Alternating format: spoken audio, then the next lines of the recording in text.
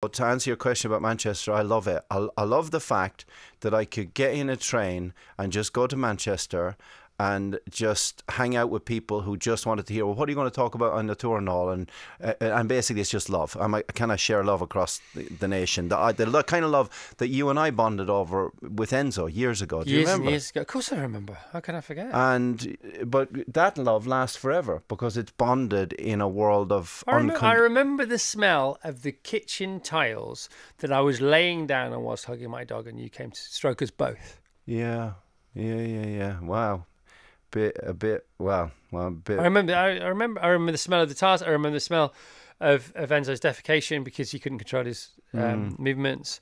And you came and I remember the blue oh here's me getting all tearful. I remember the blue Aran sweater that you were wearing that night. Oh my god. Yeah. Yes I remember. I'm sorry mate. No it's, it's good man. It's good because it's love isn't it? It's love. Well that's the unconditional love I'm talking about the love that doesn't judge the love that sees you as you are and allows you to be yourself, the love that uh, allows you not to have anger. You're going to make everyone cry. They're going to pay to come and cry. And the love, that, the love that gives you peace. Yeah. And it's eternal. And so, it's on tap. No, you've just got me going. I wasn't animals. ready for that. Sorry about that. I'm um, sorry, mate.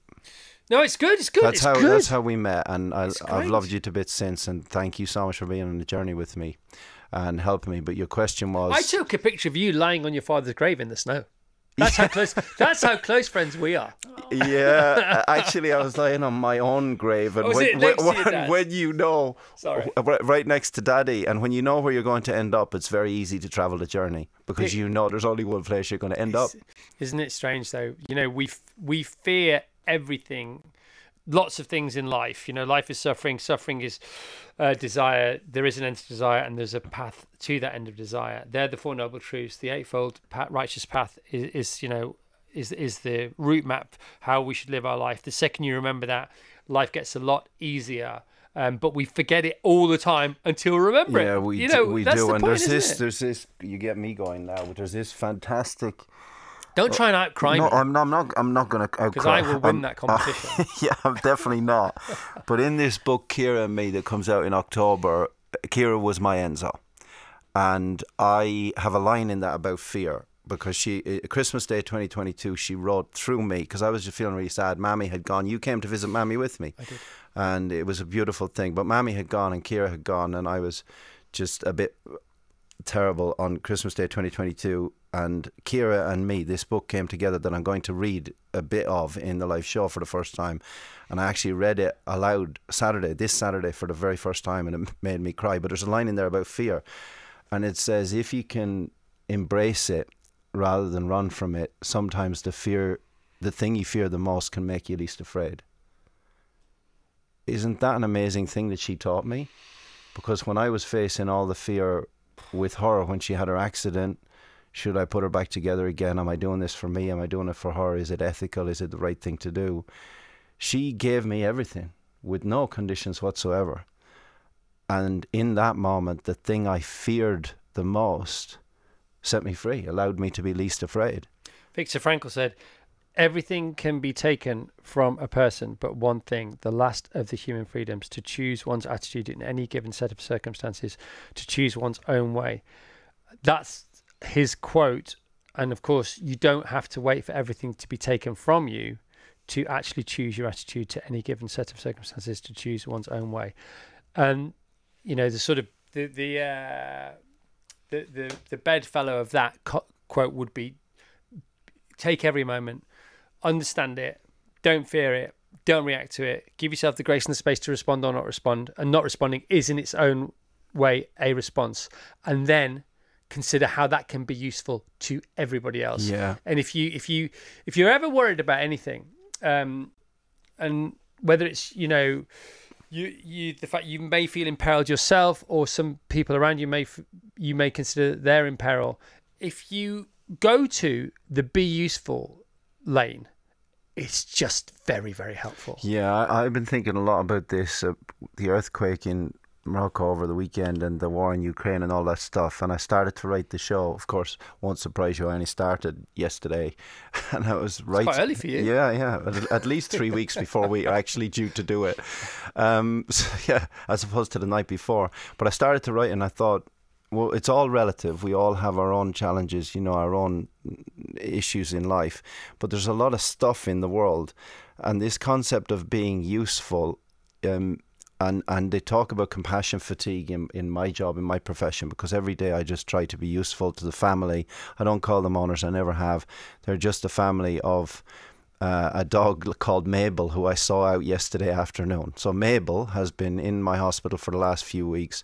Mabel nearly died twice, and oh man, and Mabel went home yesterday, and I just and her mum works in prisons and she's seen all kinds of stuff, all kinds of stuff. She she's a she helps ladies in prisons who have had a really tough time for various reasons, and they're in there because of maybe stuff that they didn't really mean to do, etc., etc. Anyway, man, it's a teary show this morning. So I, I held Mabel's mum yesterday, and I just felt this surge of being useful in that moment, you know that Mabel, for her and for her family and for me, represented everything that's important in life. Like Enzo did for you, like Keira did for me. If I can somehow translate that, that ethereal essence of oneness that bonds us all together as human beings, actually, at the end of the day, the only thing that really matters which is your children, your mum, the, the people that you love. I mean, I was at your mum's funeral and said the uh, eulogy. You told me I should get a different job because I was quite good He's at that. Good at quite good at his own job, but he's really good at being a celebrant. But, but in that moment, you're you're of service, and if I can serve everybody on the tour and bring them into that love and make them feel safe, in in a world which sometimes feels unsafe, then I feel that that's really worthwhile. Yeah, and your tears came from the relief that you could be useful in that moment. Thank goodness I can be useful. That's where that. That's what that is. Yes. Thank God I was. Thank God I didn't think I could be useful. Thank God. Thank God. Thank God. Let me be useful again and again and again and again. He's trying to outcry me. He's not, he's not going to win. you can outcry the both of us. Come on, join in. You're getting paid as well. Ask him a question, Sinead. Sinead, come on, cry and ask a question. Said no wonder you're wearing black. Both of you. I'm wearing grey. I'm not much better. And I had a guy in his mid 50s come to see me recently. Well hard guy, ex military, really hard guy, had been stabbed in the head, full nine yards and everything else.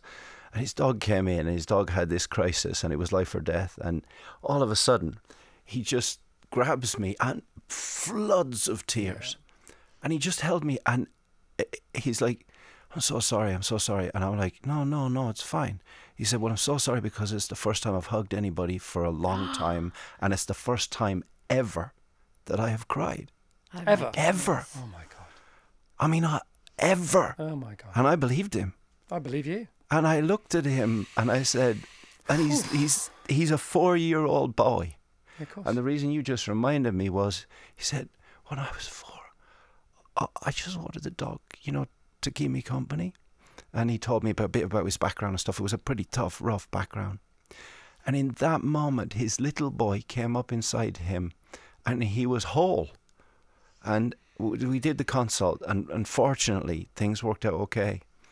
And at the end of it, this man who had never cried in his whole life before, he just shook my hand. He couldn't bring himself to hug again. It was quite funny. He wanted Yeah, to hug, but he couldn't. Yeah. Did don't do No, I hugging. tried it. It wasn't for me. Don't- He shook my hand really firmly, and he looked me straight in the eye, and he just said something that I, I shall remember forever.